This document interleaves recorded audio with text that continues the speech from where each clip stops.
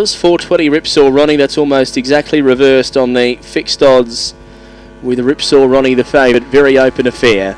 Green light. Set to go. Race six. And away, Machiko left well, as did No Guarantees. Between them, Galloping Ashley got a little bit of a bump, Machiko, and so did Galloping Ashley, and they're out of play back at the tail. No Guarantees left in front, led Ripsaw Ronnie, Proven May. Then Peninsula Panda, Dr. Watson, Dr. Toretto, a break back Machiko and Ripsaw Ronnie. Getting through, Ripsaw Ronnie now rather had gone through to grab the lead over Peninsula Panda. It's Ripsaw Ronnie drawing clear, and Ripsaw Ronnie two good two and a quarter lengths over Peninsula Panda.